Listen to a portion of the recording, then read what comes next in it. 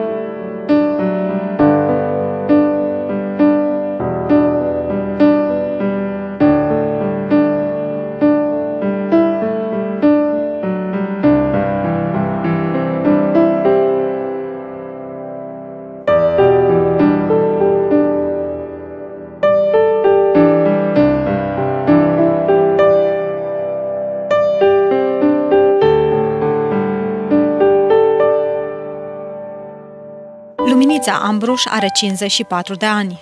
Locuiește într-un apartament din Deva și și-a descoperit recent o nouă pasiune. Cu doar câteva pensule și culori folosite cu imaginație, Devianca readuce la viață mobila veche. Și totul a început abia acum câțiva ani.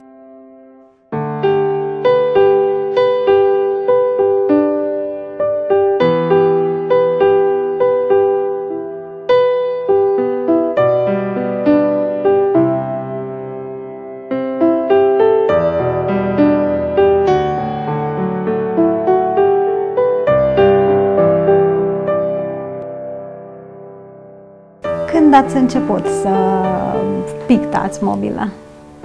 Să pictez am început acum, să zic, vreo 2 ani. Acum 2 ani, da.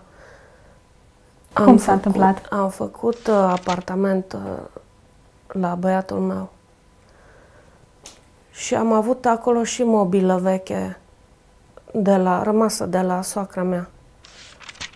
Și am păstrat, adică el a spus să păstrez dulapul. Dulapul și mai are acolo un pantofar, cred că. Să-i le pictez. Și chiar niciodată nu m-am gândit la treaba asta. Să pictez mobilă. No, dar el a insistat, de chiar mi-a dat niște modele de pe internet, cum să-i le fac.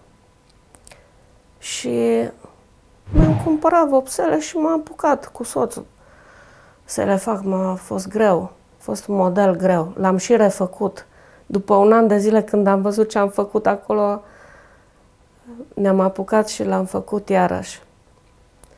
Și așa, i-am pe urmă zis să-i fac pantofarul, ce am mai cumpărat pe acolo, i-am mai făcut câteva lucruri. Și pe urmă tot el a fost cu ideea să să facă, să faci, el a zis, să facem o afacere. Bine, dacă mi-a făcut pagina pe Facebook. Aveați talent la desen din totdeauna? A știut el ceva de v Da. și asta, da, și uh, mi-a plăcut întotdeauna să orice lucru să-l migălesc, să-l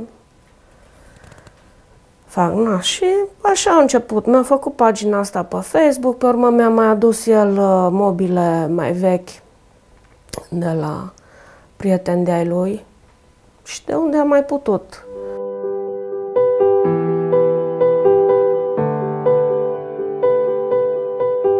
La început, femeia a ales modele mai simple, inspirate uneori din fotografii vechi sau de pe internet. Acum însă, lucrările sunt din ce în ce mai complicate, iar modelele sunt create de ea. Unele piese atrag atenția prin forme geometrice în culori pastelate. Altele etalează diferite motive florale.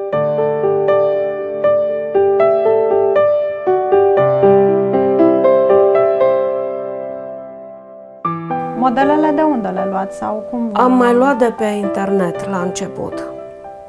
Dar uh, mie nu prea mi-a surâs ideea asta că am, mi-era frică. mi-era frică să nu să nu am probleme. Și atunci am început și am făcut eu așa cum am gândit. Că de multe ori nici nu-mi iasă ce, ce îmi propun, decât uh, făcând, atunci văd ce mai trebuie aici și acolo și așa le fac acum. Cam ce modele faceți? Prima dată am făcut modele, modelele astea de pe internet erau în stil argentinian, am văzut eu. Și am mai făcut un, uh, un bufet tot vechi. Uh, l-am făcut în stil marocan. Model uh, geometric combinat cu flori. Și acum am început să fac, mai, mie îmi plac mai mult florile. De asta am făcut și cutia. Am început masa asta acum. Asta îmi plac mie mai mult.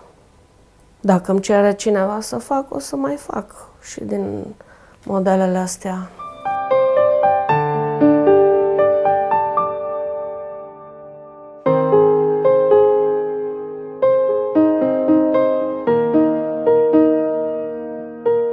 La fiecare lucrare, femeia folosește mai multe pensule de grosimi diferite, dar și mai multe culori, atât culori pure, cât și altele combinate de ea. Folosește vopsea acrilică pe bază de apă. E cea mai bună, spune femeia. Culorile, vopselele, de unde le Vopselele? luați? Sunt obișnuite sau... Vopsele obișnuite, de... sunt vopsele acrilice pe bază de apă și le cumpăr de la magazin, așa. Nu sunt vopsele pentru pictură. Sunt uh, vopsele pentru... Lemn. Pentru lemn, da, dar se poate vopsi și metal și orice. Na, cu ele vopsesc, le mai combin.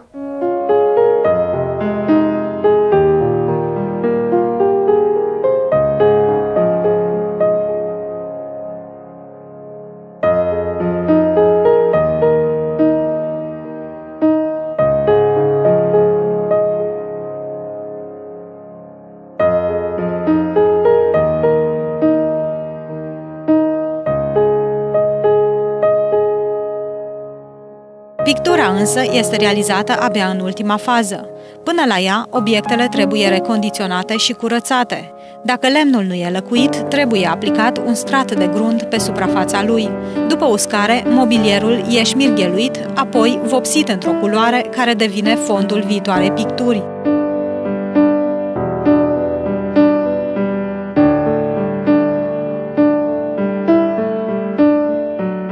E procedura? Dați direct uh, pe lemn sau trebuie lucrat și lemnul înainte? Trebuie lucrat. Trebuie netezit lemnul unde are asperități. Pe urmă trebuie dat uh, cu grund, tot uh, grund acrilic. Și pe urmă dau un fond dacă trebuie și pictez pe el. Direct așa, pe vopsea, pictez.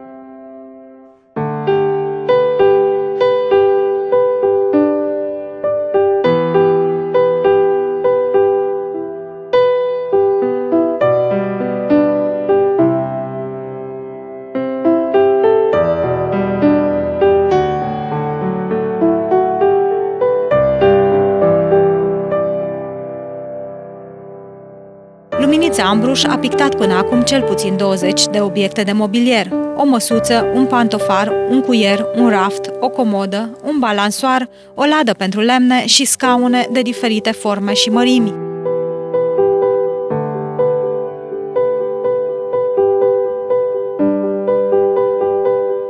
Cel mai mult la ce ați lucrat? Cel mai mult am lucrat la bufetul de care am spus, fiindcă e mare, un bufet vechi, am văzut acolo, am găsit pe un sertar scris cu creionul, cred că de cine l-a cumpărat, din 1922. Era scris acolo și uh, e, a fost greu de făcut. Uh, Trebuia să-l întoarcem pe toate părțile. M-am urcat pe sus, pe jos, pe burtă, cum am putut. Să-l fac și în interior. Și în cât timp l-ați terminat? L-am făcut, bufetul ăsta l-am făcut cam în două luni. Aproape două luni ne-a luat. Că soțul, cum a spus, m-a ajutat de... Uh, el l-a reparat unde a mai fost scândura crăpată și ce trebuie, ușile, mânere, ce era acolo. El nu are talent la desen. Prea uh, el vrea.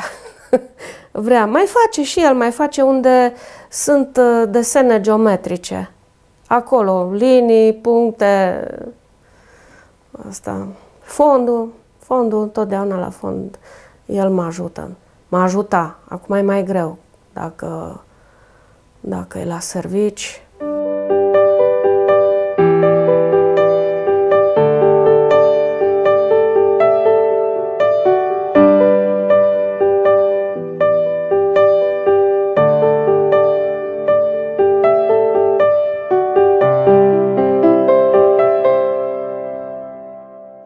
lucru simplu să faci ceea ce face luminița Ambruș. Și răbdare, trebuie multă răbdare și de multe ori și când fac nu-mi iasă și șterg de câteva ori, iarăși fac. Dacă nu-mi iasă, o mai las și fac a doua zi. Nu știu dacă... Și talent poate aici unde sunt modelele astea de flori. Că nu pot nu le pot face, nu, adică eu nu le pot face după desen. Am încercat să-mi fac așa cu creta sau cu creion, cu ceva așa, dar nu, nu pot, nu-mi iasă. Și atunci nu mai fac după desen, le fac așa liber. Și scaunul ăsta, cred că, pe care stați acum, cred că are o poveste interesantă. Asta, scaunul ăsta l-a primit soțul meu cadou când am plinit 50 de ani. Da, și el a fost cu ideea să-l, să-l pictă. Da, i-am făcut cum a vrut el. Cum zicea să-i fac modelele astea geometrice. L-am mai ajutat eu unde nu putea.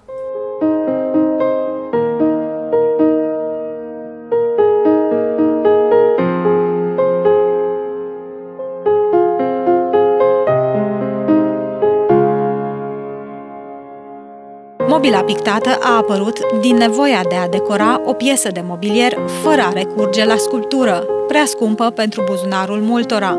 Mobila pictată întâlnim încă de acum 5 secole în mai toată Europa, ajungând până în Transilvania. Modelele sunt diferite în funcție de zonă. În țările nordice, de pildă, au fost preferate florile stilizate și animale pictate în stil naiv,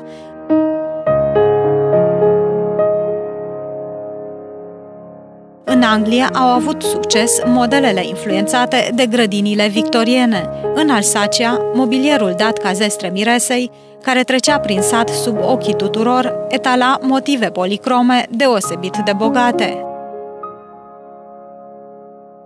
Normandia, care a produs secole întregi lăzi pentru expedierea dantelelor și bijuteriilor în Orient, motivele cele mai des întâlnite sunt laleaua, trandafirul și păsările, ca simbol al căsătoriei. În țările de jos, motivele florale erau limitate la trei culori și încadrau scene religioase ori marine.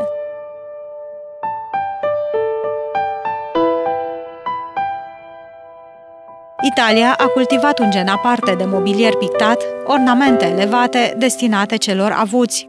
Germania a făcut furori cu trandafirul de tolz pictat în ghirlande sau în buchete. În Ungaria și Polonia, toată suprafața obiectelor era decorată dens, flori, păsări și forme geometrice. În Transilvania, mobilierul pictat a fost adus de sași și era asemănător celui din sudul Germaniei, predominau laleaua și trandafirul în buchete sau ghirlande, mai mult sau mai puțin stilizate.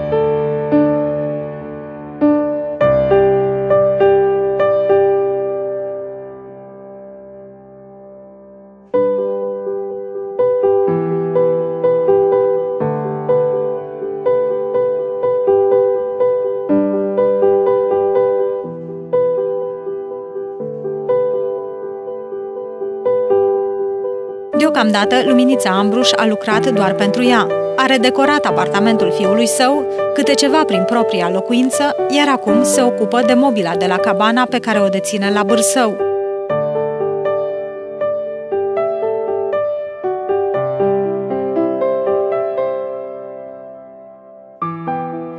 Am mai primit telefon așa de la... și din, din Franța, mi-a zis băiatul meu că a sunat cineva pentru am o ladă de lemn, tot așa pictată, dar cred că dimensiunile e, mai, e puțin mai mică. Nu i-au, nu au corespuns. V-ați gândit și la niște prețuri? La unele, da, drept să vă spun, nu. La unele m-am gândit la prețuri. Nu știu, o casetuță, să zicem, o casetă, cum caseta cu flori. Da. La caseta cu flori, da, m-am gândit. Cam la 80 de lei. Și cât ați lucrat la ea? La caseta asta am lucrat, cred că vreo 3 săptămâni. Este și ea mai veche? Da. Cât de veche? Cred că e deodată cu mine caseta asta. Am avut-o aici acasă, că eu aici am locuit din totdeauna. Și am păstrat-o, am păstrat lucruri în ea. Acum, dacă soțul meu, el a, a zis, hai să o facem și pe asta. Hai să o facem. Luminița Ambruș a lucrat mai bine de 30 de ani la termocentrala de la Mintia.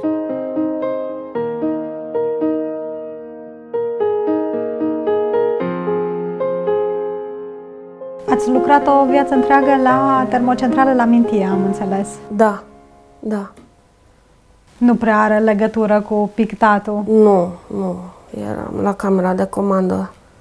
Nu v-ați gândit niciodată să faceți, când erați mai tânără și știați că vă place treaba asta, nu v-ați gândit să urmați o carieră, să faceți ceva în M-am sensul gândit ăsta? și mi-ar fi plăcut, dar atunci nu era ceva de viitor pe vremea mea și nici părinții mei nu cred că m-ar fi lăsat, nu i-ar fi încântat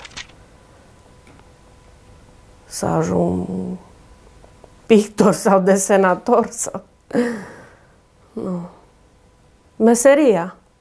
Așa, așa m-au îndrumat ei.